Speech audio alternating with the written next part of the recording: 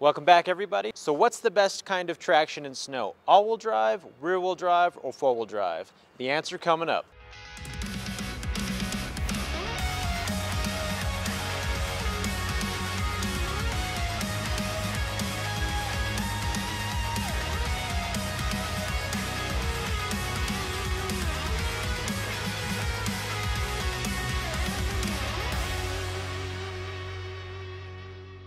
So here is today's 60 second pit tip. So some of our customers end up moving here from flatland areas. We call them flatlanders. But here in the Rocky Mountains, the kind of vehicle that you drive can be crucially important. So it begs the question, what is the best configuration for winter driving in the Rockies? Well, first we'll start with rear wheel drive. So with rear wheel drive, you don't have much traction, but state troopers drive with rear wheel drive all the time, but again, they had training. So next up is four wheel drive. Now four wheel drive, you flip that switch and all four wheels are gonna be spinning at the same time. Now four-wheel drive is great, but you do have a bit of lockup on the front axle on four-wheel drive vehicles, especially shift on the fly, because of the fact that all four tires are trying to spin at the same rate. So when you're doing a turn, you're getting a little bit of tire grab in those turns because the front axle is slightly fighting the rear axle. You also have to keep in mind that most four-wheel drive shift on the fly systems have to be done either at a stop or at very slow speeds in order to engage. You can't engage it going at interstate speeds. And lastly is all-wheel drive systems like most Subarus. Now it's no surprise why Subarus are some of the best-selling vehicles in the Rockies, specifically for that all-wheel drive reason. Now there are different variations of all-wheel drive systems, some that are all-time all-wheel drive, there are some that engage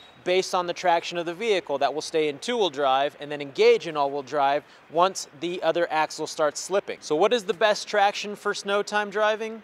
Well, the winner is all-wheel drive. And that's mainly because there is no thought process to how to actually engage that system. It's done all automatically. But for those of you who have lived in Colorado or the Rocky Mountain region long enough, you can typically drive in anything as long as you have great tires with good traction and know how to drive in those winter conditions. So be sure to follow us on Facebook, YouTube, and our website, pitstopcarcare.com.